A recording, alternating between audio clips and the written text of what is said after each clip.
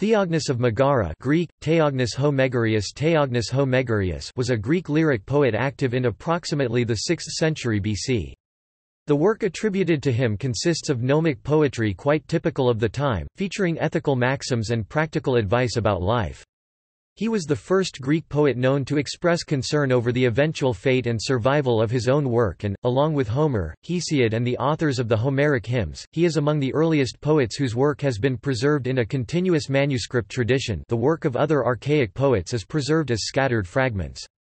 In fact more than half of the extant elegiac poetry of Greece before the Alexandrian period is included in the approximately 1,400 lines of verse attributed to him though several poems traditionally attributed to him were composed by others, e.g.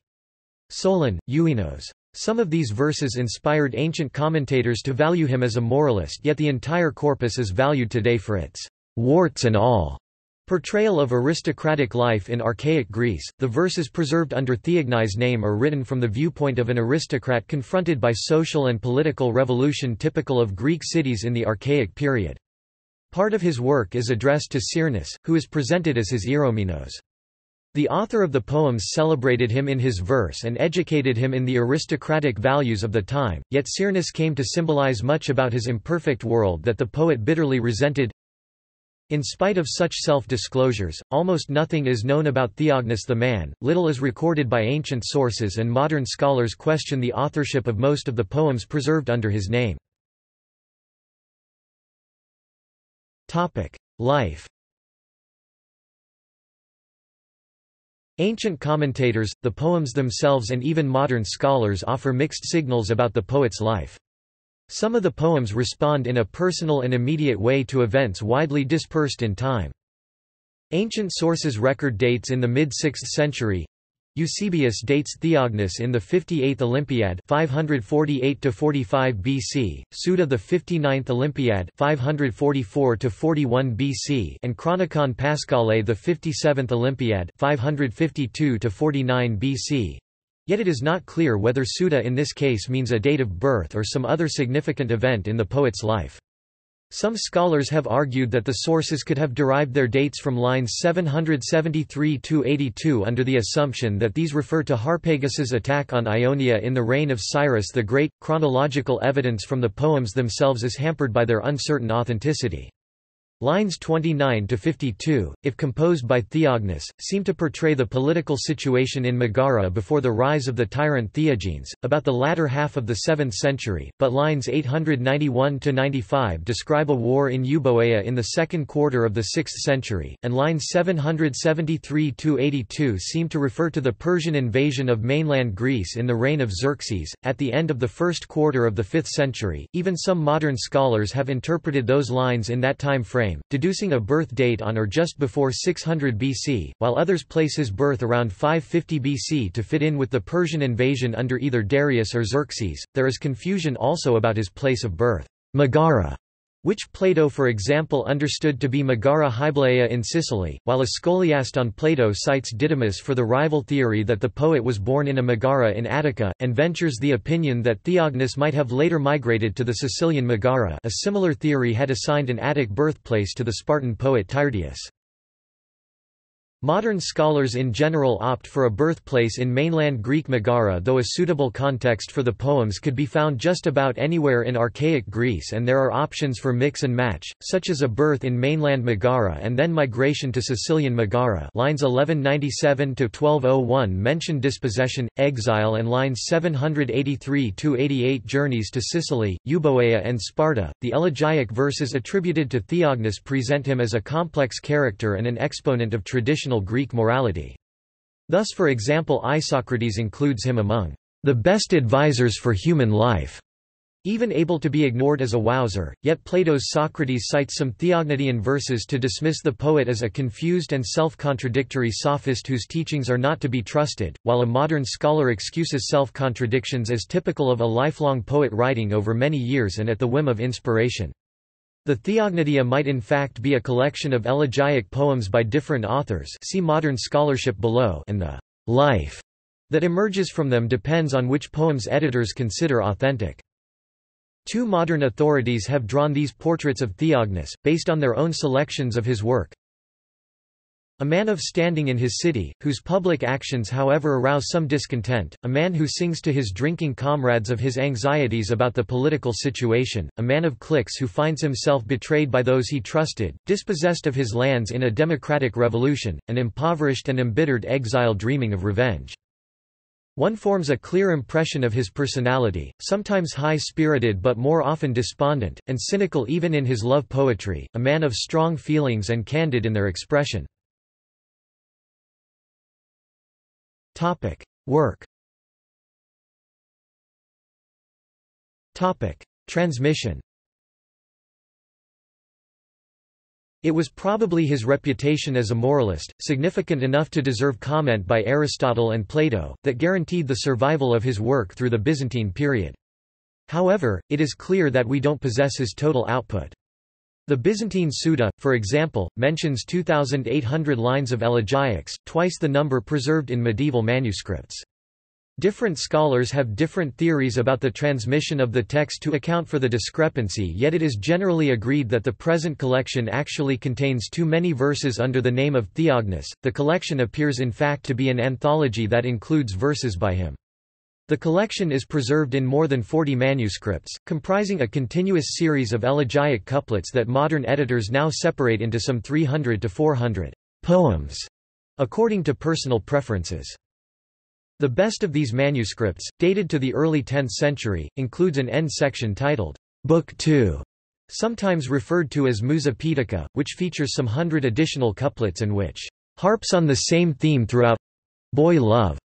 The quality of the verse in the end section is radically diverse, ranging from exquisite and simple beauty to the worst specimens of the bungler's art, and many scholars have rejected it as a spurious addition, including the philosopher Friedrich Nietzsche see Nietzsche and Theognis below. However, many modern scholars consider the verses of Book 2 an integral part of the collection. The rest of the work also raises issues about authenticity, since some couplets look like lines attributed by ancient sources to other poets Solon, Euenus, Mimnermus and Tyrtaeus, and other couplets are repeated with few or no changes elsewhere in the text. Ironically, Theognis mentions to his friend Cyrnus precautions that he has taken to ensure the fidelity of his legacy. Cyrnus, as I compose my poems for you, let a seal be placed on the verses, if stolen they will never pass undetected nor will anyone exchange their present good content for worse, but everyone will say, they are the verses of Theognis of Megara, a name known to all mankind." Lines 19–23 The nature of this seal and its effectiveness in preserving his work is much disputed by scholars see modern scholarship below. Topic. Subject matter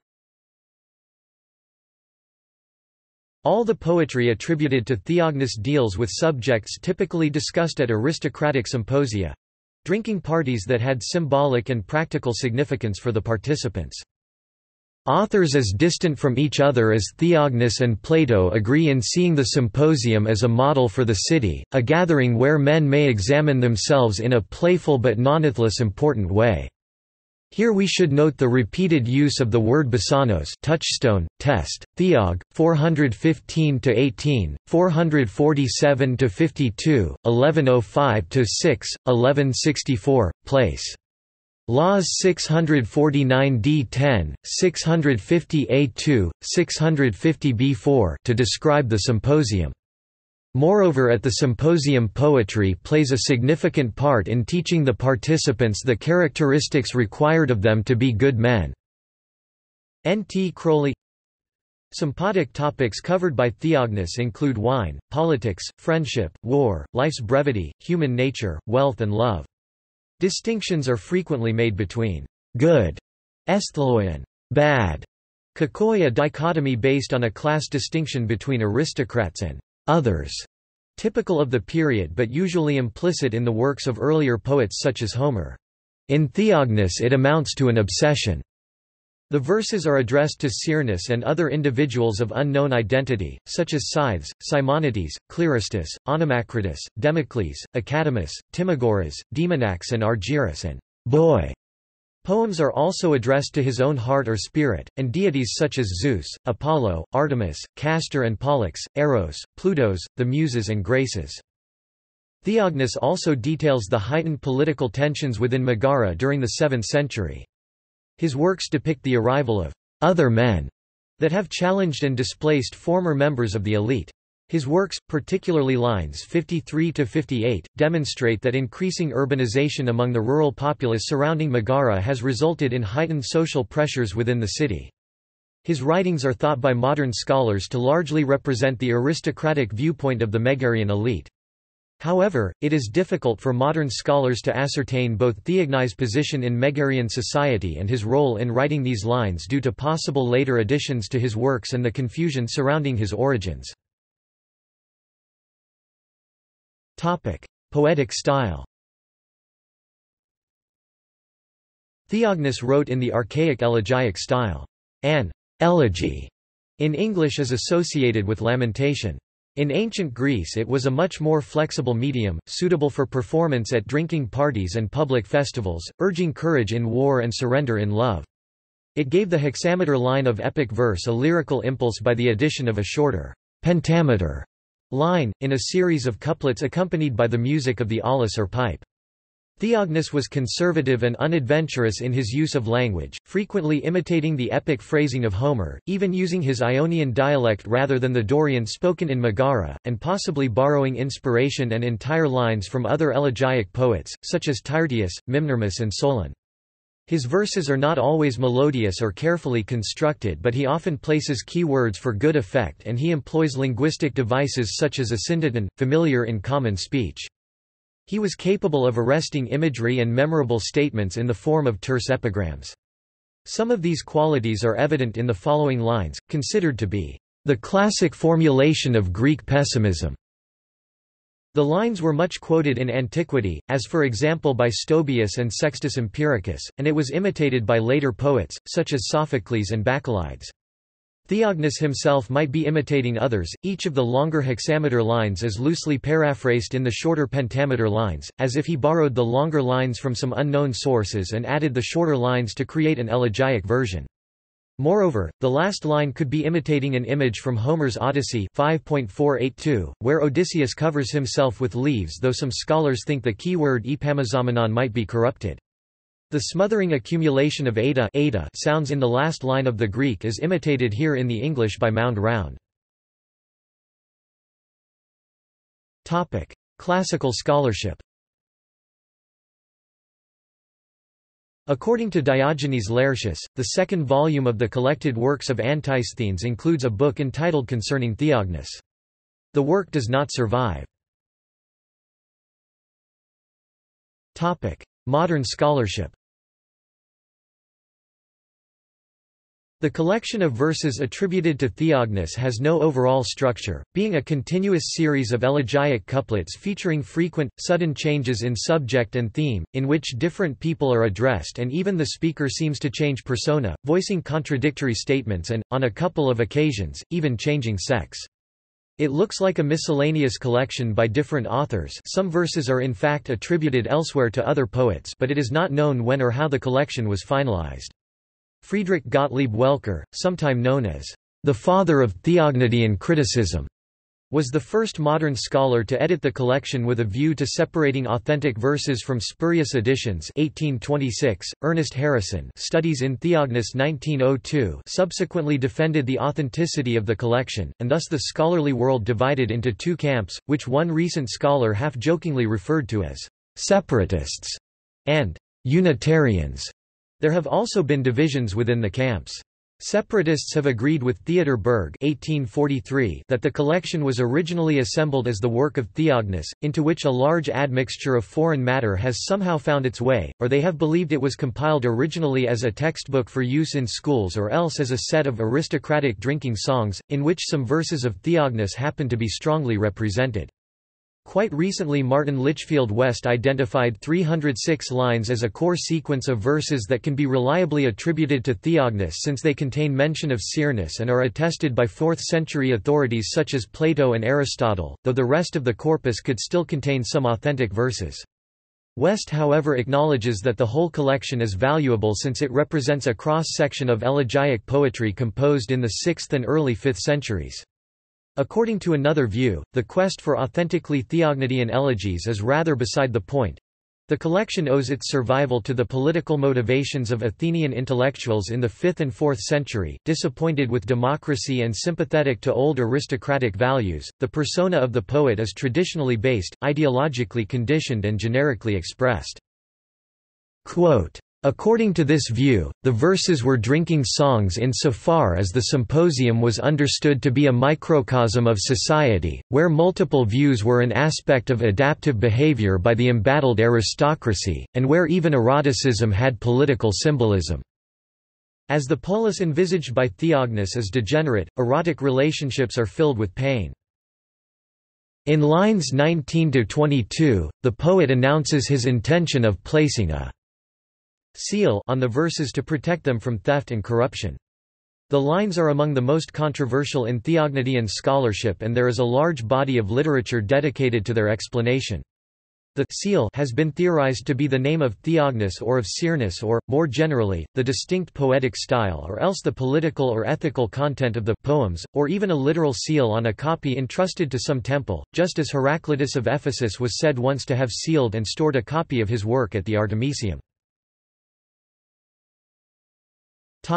Friedrich Nietzsche Friedrich Nietzsche, the German philosopher, studied the work of Theognis during his university days at Leipzig. His first published article in an influential classical journal, Rheinisches Museum concerned the historical transmission of the collected verses. Nietzsche was an ardent exponent of catchword theory which explains the arrangement of the Theognidian verses as pairs of poems, each pair linked by a shared word or catchword that could be placed anywhere in either poem, as for example in these pairs. Lines 1 to 10, "Child of God," and lines 11 to 14, "Daughter of God." Lines 11 to 14, "Daughter of God," and lines 15 to 18, "Daughters of God." Lines 15 to 18, "Word," and lines 19 to 26, words, etc. However a later scholar has observed that the catchword principle can be made to work for just about any anthology as a matter of coincidence due to thematic association. Nietzsche valued Theognis as an archetype of the embattled aristocrat, describing him as a finely formed nobleman who has fallen on bad times, and a distorted Janus head, at the crossroads of social change. Not all the verses in the collection however fitted Nietzsche's notion of theognis, the man, and he rejected Musa Poetica or Book 2 as the interpolation of a malicious editor out to discredit him. In one of his seminal works, On the Genealogy of Morals, he describes the poet as a mouthpiece of the Greek nobility. Theognis represents superior virtues as traits of the aristocracy and thus distinguishes in Nietzsche's own words the truthful aristocrat from the lying common man. Topic Charles Darwin Charles Darwin represented a widespread preference for a biological interpretation of such statements when he commented on the above lines thus, topic Notes topic References topic Further reading Easterling, P.E. Series Editor, Bernard M. W. Knox Editor, Cambridge History of Classical Literature, V. I., Greek Literature, 1985. ISBN 0-521-21042-9, cf. Chapter 5, pp. 136–146 on Theognis.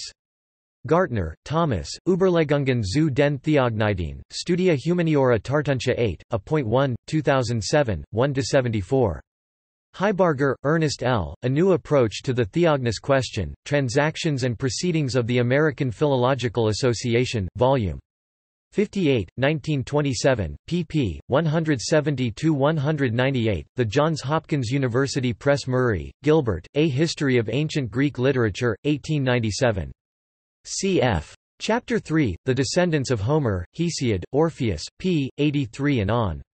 Nietzsche, on Theognis of Megara, edited by Renato Cristi and Oscar Velasquez, Cardiff, University of Wales Press, 2015 Selle, Hendrik, Theognis und die Theognidea Berlin, New York, Walter de Gruyter, 2008 Untersuchungen zur antiken Literatur und Geschichte, 95. Williams, Thomas Hudson 1911. Theognis of Megara. In Chisholm, Hugh. Encyclopædia Britannica. 26 11th ed. Cambridge University Press. Topic editions Theognatus Megarensis Poeti Vetivistus, ex officina Christophori Plantini, Antwerp, 1572 MDLXXXII Translation into Latin by Jakob Schegk August Emanuel Bekker 1815, 2nd ed., 1827 Friedrich Gottlieb Welcker 1826. Both these are epic-making books which no serious student can ignore Theodor Bergk 1843, 4th ed., 1882, re-edited by E. Hiller, 1890, and Otto Crusius, 1897, Jakob Sitzler 1880, Ernest Harrison, Studies in Theognis 1902 Thomas Hudson Williams, The Elegies of Theognis and Other Elegies included in the Theognidian Sylloge 1910 Martin Litchfield West, Iambi et Elegi Graeci, Volume 1 1971, Revised edition 1989 Douglas Young after Ernest Diehl, Teubner edition 1998 ISBN 3-519-01036-4 David Hayes, New Translations of Theognis in the Utopian 1 topic External links Media related to Theognis of Megara at Wikimedia Commons Quotations related to Theognis of Megara at Wikiquote Greek Wikisource has original text related to this article, Theognis J. M. Edmonds ed., Elegiac Poems of Theognis, Elegy and Iambus Vol. 1, Greek with English translations, via Perseus Digital Library Poems by Theognis of Megara English translations Theognis of Megara poems with complete table of contents